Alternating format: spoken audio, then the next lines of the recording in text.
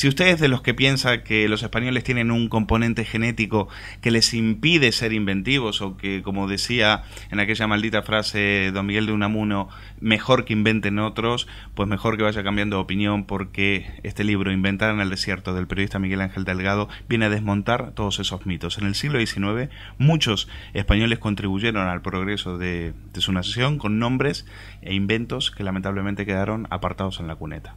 Miguel Ángel Delgado, bienvenido a Periodista Digital. Muchas gracias.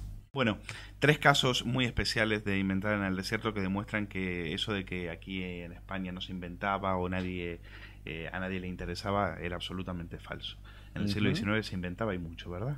Sí, uno de los tópicos que a mí personalmente eh, más me, fastidian es que mm, la idea de que España no es un país de inventores, como que tenemos algo mm, que nos obliga a, mm, a ir a, un poco a rebufo de lo que se hace en en otros países. Y no es cierto. En España, en el siglo XIX y principios del siglo XX, que es un poco el periodo que, que ocupa mi libro, hubo posiblemente mm, tantos genios en potencia como en cualquier otro, otro país eh, de nuestro entorno. La única diferencia era, mm, el problema era el país, no eran los, los, españoles, es decir, el problema era España, mientras en otros países existía pues un tejido y una base que permitía que esos talentos eh, se desarrollaran y consiguieran sus objetivos, en España era prácticamente imposible se sofocaba cualquier cualquier intento, pero es muy sorprendente echar un vistazo a, a, esa historia y descubrirte con nombres, prácticamente todos los campos punteros de, de, esa época te encuentras con un español. La verdad que me alegra la publicación de tu libro porque yo siempre ponía el caso, por ejemplo, de Santiago Ramón y Cajal, que me parece eh, un caso paradigmático también de, de un investigador que en, también, se puede decir, en, medio de la nada, también en el desierto, eh, era toda una referencia en lo que era el mundo de la neurociencia. Tú introduces tres casos de inventores, Mónico Sánchez, Julio Cervera y Cosme García Sáez. Vamos a empezar quizás por uno de, de tus favoritos, el de Mónico Sánchez y, y, los rayos X, porque lo más interesante de este, de este manchego es que no tenía ni había terminado el bachillerato, y estudió ingeniería eléctrica por, por correspondencia y en inglés. Es todo un esfuerzo, de todo un ejemplo de esfuerzo y de perseverancia. ¿no? Sí, es un caso que a mí me, me, gusta muchísimo porque además yo planteo una, mm, un paralelismo no es que sean ni mucho menos figuras equivalentes, pero sí hay cosas, rasgos que me gustan mucho que los comparo con eh, Nikola Tesla, que es el otro científico. Y al cual tú le dedicaste ya dos libros. Exacto, y es un poco, ha sido también un poco la vía por la que me he acabado topando con algunos de estos nombres y que me hizo despertar la idea de de escribir este libro. Que también era un inventor olvidado, Tesla, ¿no? Eh, es un inventor olvidado que se está recuperando y bueno, y al que le debemos mucho. Prácticamente la civilización tecnológica que tenemos, la corriente alterna, el motor eléctrico, la alta tensión, incluso la radio. O sea, Marconi pirateó 17 de sus patentes. Eh, en el, por eso, eh, pero en el, como en el caso de Mónico Sánchez, Nikola Tesla nació en, una, en un pueblo remoto en los Balcanes sin ningún contacto con la electricidad. Mónico Sánchez nació en Piedrabuena, en Ciudad Real, que por entonces, en 1880, era un pueblo dominado por el latifundismo, por el caciquismo, en el que desde luego no había ninguna relación con la, con la electricidad. Y Mónico Sánchez también se labró su camino. Como bien dicen, no terminó el bachillerato Vino a Madrid a estudiar ingeniería eléctrica, no pudo porque estaba cerrada la universidad y la estudió em, a distancia y en inglés. Y lo fichan de, Estados Unidos. Recibió una oferta de, Estados Unidos, del director de la academia, para que fuera allí, terminara sus estudios en la Universidad de Columbia y empezara a trabajar. Y así lo hizo, y además al poco tiempo de llegar patentó un aparato de rayos X portátil. Lo que me fascina de ese mundo, Miguel Ángel, es hablamos de globalización, pero en ese mundo estaban todos conectados. Sí. Es decir, todos sabían todo de todos, se seguían, se, se hacían marcajes muy, cerca, eh, las revistas estaban todos al, tanto de lo que se publicaba en uno y otros países y, no tenían internet. Es, era, es fascinante. No, y es una época en la que hay una enorme fascinación por la tecnología. Eso, ¿cuál es el, explícame, ¿cuál es el caldo de, cultivo? ¿Por qué hay tanta pasión por... por pues porque es un, es un es un momento en el que parece que todo es posible. Con la segunda revolución industrial y ya el estallido de la electricidad y el aprovechamiento de toda la electricidad, pues hay una vorágine de, descubrimientos impresionante. Mm, para que eh, pensemos en un momento una persona que naciera en 1850 y muriese en 1925. Claro, comparemos el mundo en el momento de su nacimiento, un mundo que con la fuerza del caballo, con el gas como mucho, y cuando muere en 1925 ha visto cómo han aparecido los automóviles, la electricidad se ha desarrollado, está existe la radio, existe el cine. Y el avión es de 2009. Claro, volamos, exacto, volamos, es decir, es un cambio brutal en el que prácticamente se piensa que, que, todo va a ser posible, que la humanidad va a conseguirlo, va a conseguirlo todo. Es algo que no se rompe hasta el Titanic, por ejemplo, en 1912, y luego con la Primera Guerra Mundial. Y las historias de estos inventores también están acompañadas por, tienen mucho de, mucho de drama, ¿no? Porque en el caso de Mónico Sánchez, el, descubridor de los rayos X, ¿está bien dicho? Descubridor de rayos Bueno, no, es inventor de un aparato, es el primero que consigue fabricar un aparato portátil que se puede llevar en un maletín que pueden utilizar los, los médicos. Eso es He visto una foto en ABC de ese, aparato, todavía se conserva. Se conserva, está aquí en el MUNCIT, en el Museo Nacional de Ciencia y Tecnología. Tienen toda la colección de sus aparatos, que además los herederos de Mónico Sánchez lo han conservado maravillosamente. De hecho, durante mucho tiempo los tuvieron en sus casas, incluso en muchas casas de. Como luego Mónico Sánchez volvió a Piedrabuena y construyó una fábrica. Esa historia que fabulosa. Sí, lo más sorprendente es que Mónico Sánchez tenía todas las papeletas para triunfar en Estados Unidos con su invento, había conseguido una cierta fortuna, un, reconocimiento, y sorprendentemente en 1913 toma la idea, tiene la idea de volver a España, lo cual ya era algo rarísimo. No va, ni a Madrid ni a Barcelona. No, va a su pueblo, a un, a un pueblo de La Mancha, a construir una fábrica de aparatos de alta frecuencia que para que nos hagamos una idea, eso es alta tecnología, es como eh, fabricar, no sé, una... Mm, no sé qué ejemplo poner, pero es como, claro, se va a uno de los sitios más atrasados, no había electricidad. Al medio del campo, sí, tiene, tiene además que, que, hacerse una toma de agua. Como estudiar nanotecnología, pues... pues Exacto, pues empieza a construir el laboratorio eléctrico Sánchez que además hay una imagen que a mí me encanta, que es que los, los, aparatos que fabrica llega a servir, por ejemplo, al ejército francés durante la Primera Guerra Mundial, que el ejército francés es el primero que hace un servicio de ambulancias para llegar al frente con aparatos de rayos X, porque el aparato de Mónico Sánchez tenía la ventaja de que se aparte de ser portátil, era el primero que se podía enchufar directamente a la, a la red eléctrica o a un generador normal. O sea, funcionaba con electricidad normal, no necesitaba ninguna estructura especial. Pues ese pedido sale por tren, pero es que al tren eh, va en un tiro de, de mulas se lleva al, tren. Entonces yo me encanta esa imagen del, tiro de mulas llevando las cajas con los aparatos al tren, que esos, aparatos son de alta tecnología avanzadísima, pues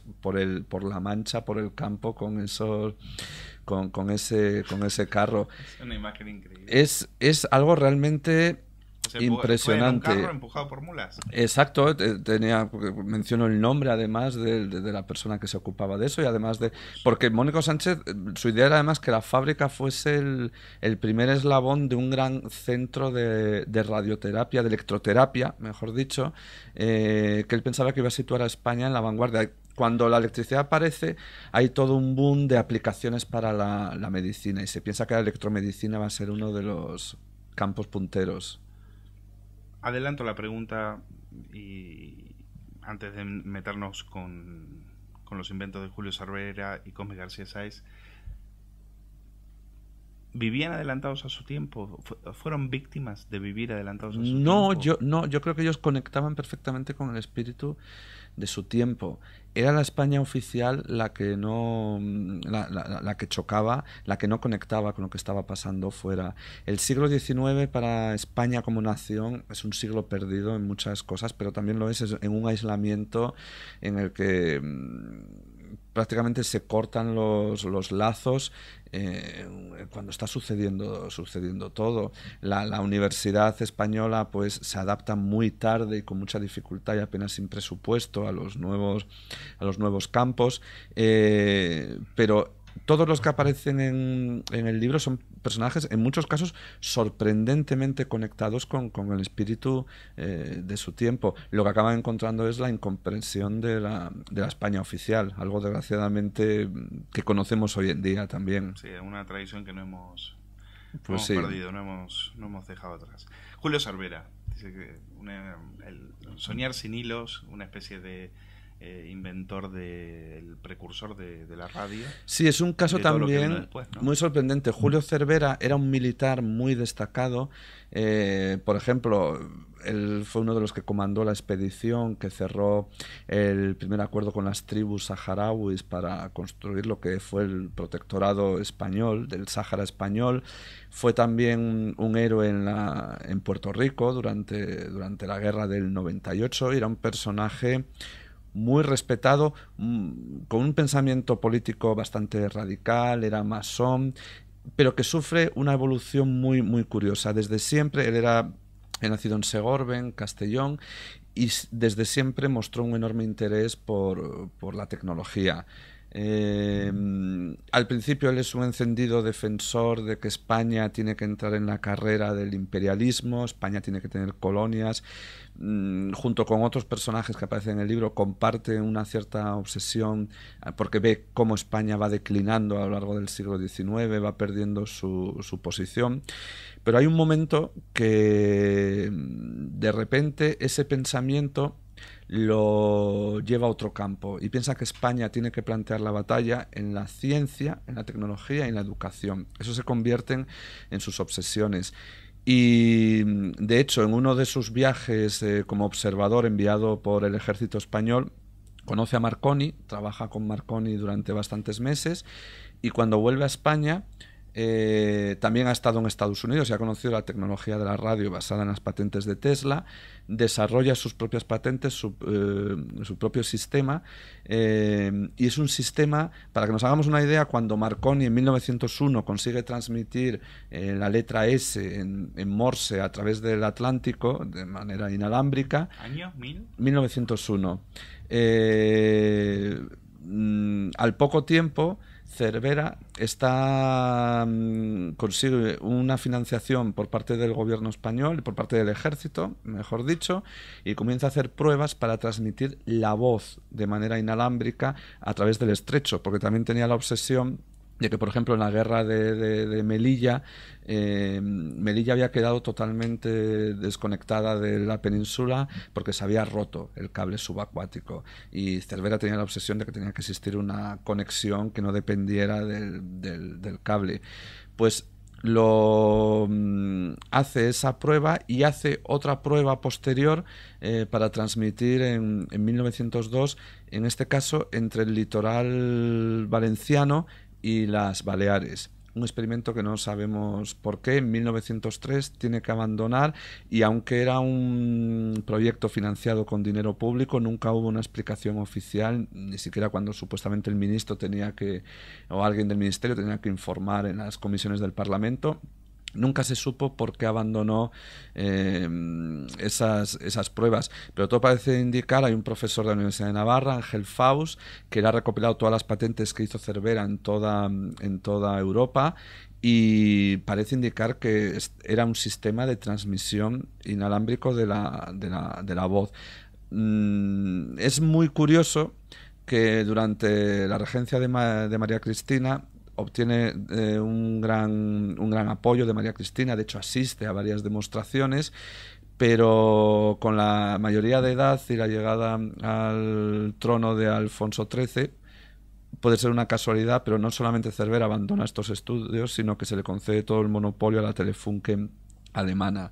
Eh, no se rindió Cervera y, por ejemplo, hizo otra cosa que fue crear la institución eh, Cervera, que es la primera academia de formación de ingenieros por correspondencia. Copia lo que él había conocido en Estados Unidos y acaba siendo, ante la inutilidad de gran parte de la Universidad Española del momento, donde se forman muchísimos ingenieros en España que no tenían ocasión ni oportunidad de, estudiar en ningún otro sitio. También, y antes de tocar el caso genial de Cosme García Sáez, eh, también la uno llega a la conclusión de que de que no hace falta tampoco la, ayuda de los políticos porque esta gente se la arregla sola. Esta gente podían contra todo, ¿no? Sí, lo que pasa es que llega mm, la mayoría de los que aparecen, llega un momento en que son inversiones muy grandes que no puede, no hay un tejido empresarial digamos, no hay un capital privado eh, dispuesto a invertir o con capacidad. Se dejaron, su, muchos, fortuna, sí, sí, sí, sí, muchos económicamente estaban bien y se metieron en unos líos. Sí, muchos invirtieron su dinero y lo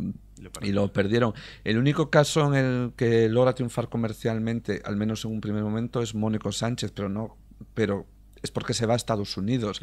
En Estados Unidos en ese momento hay una efusión de, de, financieros queriendo invertir en cualquier idea. De hecho, son años de burbuja tecnológica en los que hay muchas ideas que acaban explotando y no, y no salen adelante. Pero en España, eh, como por ejemplo lo que vamos a hablar ahora del submarino, son inversiones tan grandes que llega un momento que son imposibles de sacar adelante si no es por la intervención del, del, Estado. Bueno, es que Cosme García Sáez eh, es directamente el, el inventor de una, de una idea genial que es la de la del submarino, que era en ese momento algo que, se, que, existía solamente en, la, en, la, en, los libros de Julio Verne.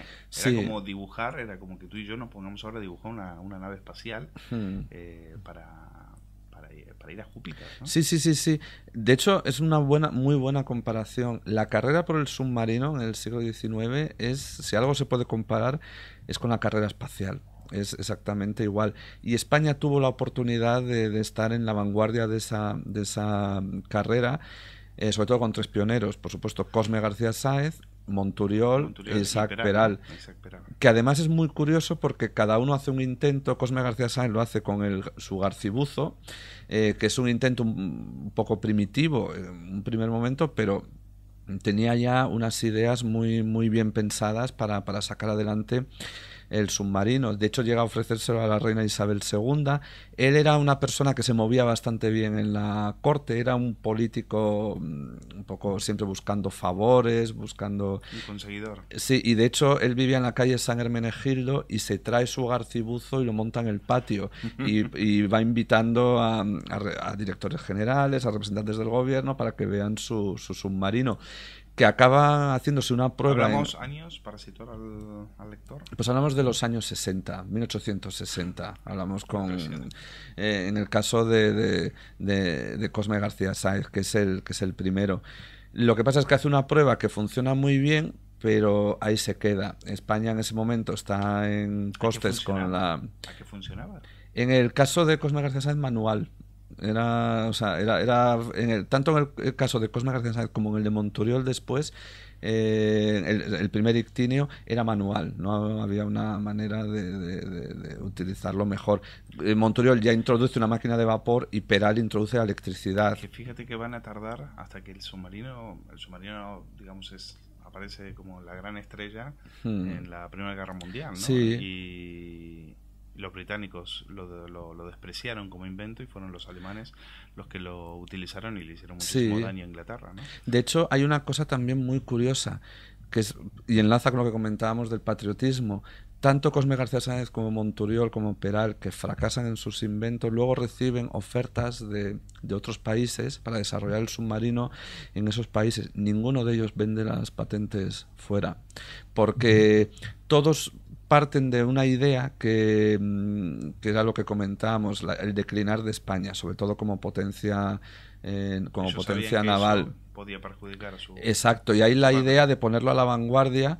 Mm, de hecho, el conflicto en, en la década de 1880, el conflicto de las Islas Carolinas con, con Alemania, lanza la advertencia, es la primera vez que se ve de manera manifiesta que España tiene una flota atrasada con muchos barcos de madera y que hay que hacer algo, mm, que es lo que acaba haciendo que, por ejemplo, se apruebe el proyecto de, de, Isaac, de Isaac Peral, que finalmente no se, no, se saca, no se saca adelante, que Isaac Peral incluso había ideado, eh, decía que necesitaba 50 submarinos para defender todo, todo el litoral y habría que ver qué habría ocurrido en la guerra de Cuba si España hubiese construido los submarinos y los hubiera utilizado como arma. Probablemente la habríamos perdido igual, pero no habría sido la humillación que, sufrió España y eso habría sido, habría sido diferente. Pero es bastante triste porque Cosme García Sáez acabó hundiendo con sus propias manos el submarino para evitar que mm, Murió en la pobreza, ¿no?